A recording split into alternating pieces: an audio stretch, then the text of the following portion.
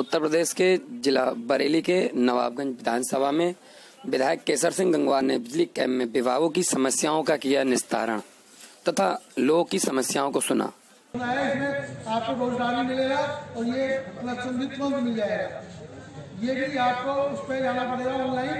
Online की है उसमें मिल जाएगा। और यदि खंबे की दूरी 40 मीटर से अधिक है तो दो आदमी पर्सन लेना चाहते हैं तो सरकार ने खंबा फ्री और लाइन का भी प्रावधान किया।